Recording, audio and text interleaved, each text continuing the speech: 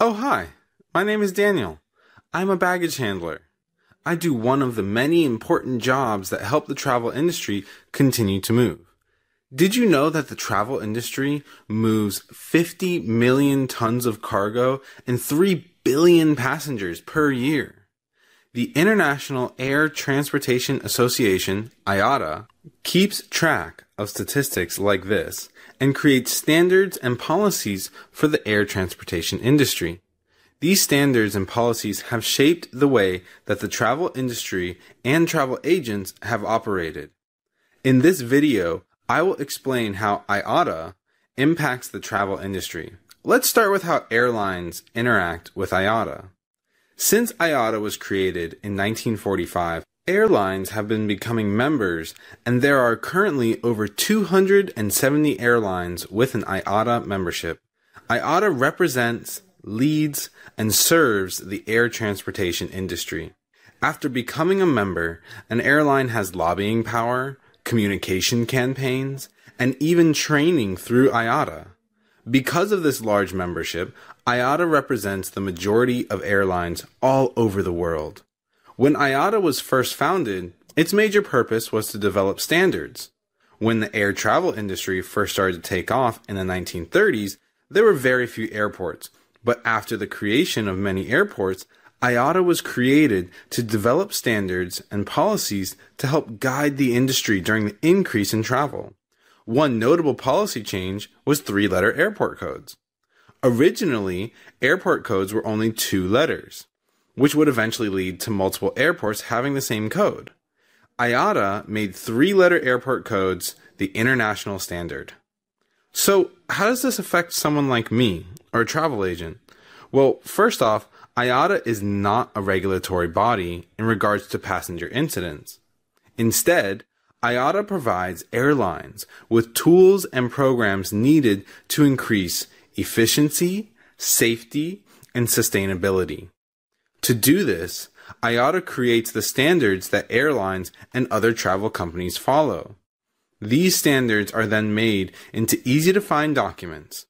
If a traveler needed information on what types of visas he or she needs, if they can travel with a particular animal, or what types of travel documents are needed, IATA has annually updated documents for travel agents and travelers to use. For example, the Travel Agent Handbook is considered the most important book for a travel agent. It contains vast amounts of important information, including electronic ticketing procedures, how to issue traffic documents, commission conditions, agency fees, and regulations concerning invoicing, and many more topics. IATA also creates things like the Travel Information Manual. The TIM is the single best source for traveler related information, such as passport, visa, and health documentation needed for travel into any country. Another example, in order to decrease the amount of illegal food and animal trafficking, IATA created the Live Animal Regulations. The LAR is the worldwide standard for transporting live animals and can be used as a reference for travelers. Oh, I have another plane to load, so I need to get going. But before I do, let's recap what we've learned about IATA. The International Air Transportation Association represents the majority of airlines worldwide. Their mission is to increase efficiency, safety, and sustainability in the air travel industry. In this effort, IATA creates standards and policies and provides airlines with the tools needed to meet these standards. If you want to find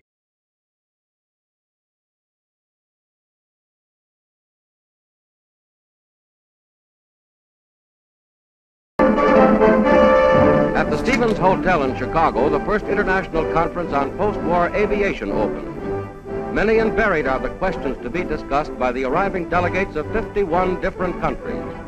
Chief among these questions is the future freedom of the world air transportation routes. This is the Chicago Convention of 1944, the first civil aviation agreement in the world. The rules governing the aviation industry for over 70 years are contained in its 61 pages, minus the funky signatures. So, the end of World War II. Civil and commercial aviation soars. as larger and heavier ex military aircraft start to transport people and cargo across oceans. The skies have never been so busy, and the transatlantic is now the world's most traveled air route. Of course, this calls for some type of regulation.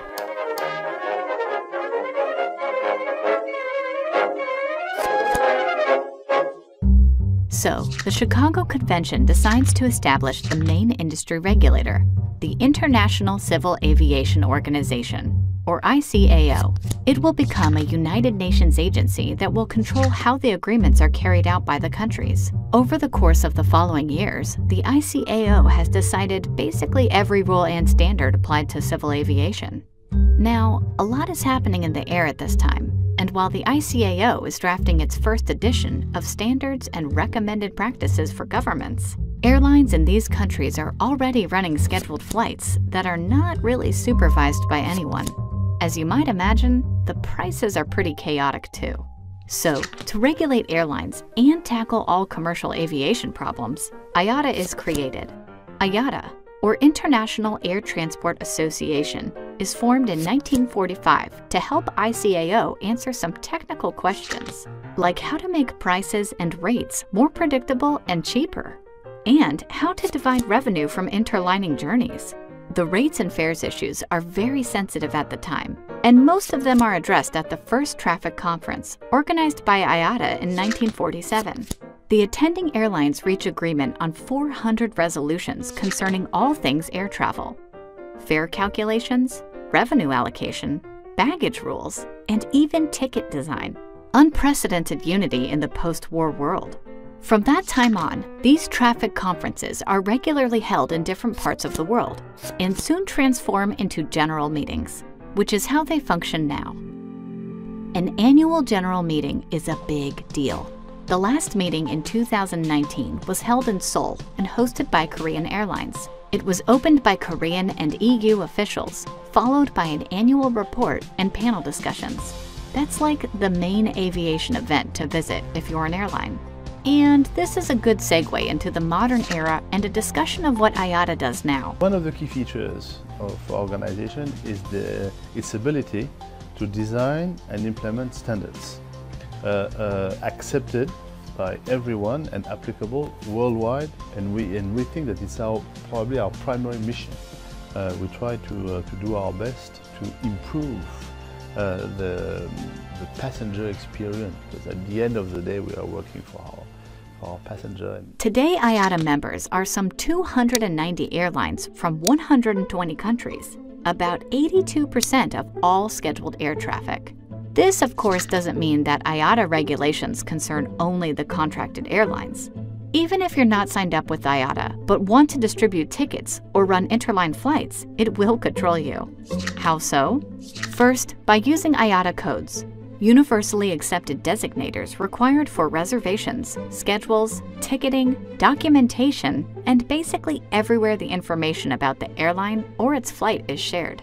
This two character identifier is one of the industry's pillars, used everywhere and by everyone. You must get one even if you're not an IATA member. Second, all accounting documents used in ticketing and transaction operations use IATA accounting or prefix codes. They are absolutely integral for computer systems to identify your passengers and cargo.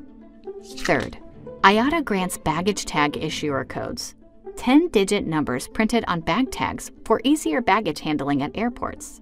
IATA also issues location codes used by airports and sometimes rail or ferry stations, if we're talking about intermodal journeys. Yes, IATA loves their codes, but it's more than just codes. IATA is comprised of airlines and exists for airlines. See its Board of Governors.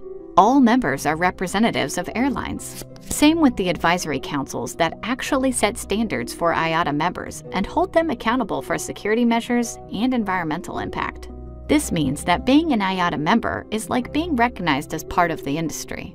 IATA also represents their interests by lobbying for airline operations campaigns. A recent success is the gradual spreading of NDC solutions. The new distribution capability program was launched by IATA to help airlines distribute their services without limitations and control what type of content is shared on booking websites.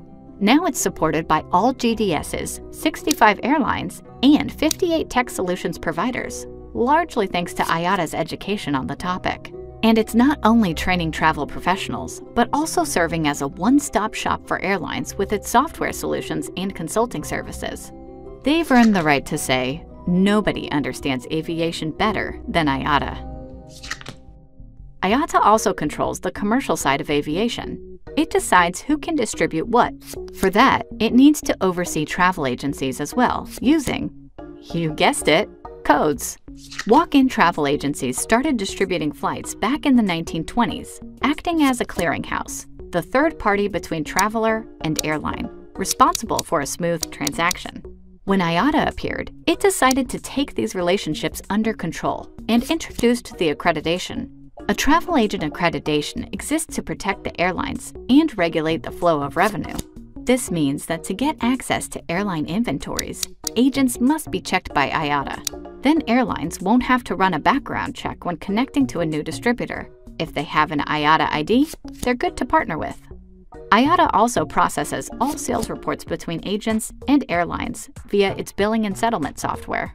You can run an agency without an accreditation using someone else's ID, Airline consolidators, or bigger agencies, allow independent agents and smaller OTAs to use their IATA ID on contracted conditions without paying an application fee and going through the whole approval process. Those were some of the basics of why the industry needs IATA and how it made itself so needed. That doesn't mean that its initiatives are always celebrated by the industry. In 2015, IATA released new size guidelines for carry-on bags called Cabin OK. It proposed that all airlines use the same standard for cabin luggage. Not a bad idea by itself, right? It was, until the new size was revealed. It was significantly smaller than most airlines allowed. Passengers would have had to buy new suitcases, a huge blow to customer experience. Basically, they're asking you to bring a briefcase with your clothes in it. Pretty small. I mean, they're not they're not big now. Bad idea. Boo. IATA answered the backlash proposing that bags with new sizes should be produced with a special Cabin OK badge, which would give them priority if the cabin is filled to the brim and some bags have to be moved to the luggage compartment. IATA paused the program in a few days to reassess the guidelines, which have yet to be released. But what is it doing right? What's happening at those general meetings every year? What are IATA's goals and priorities?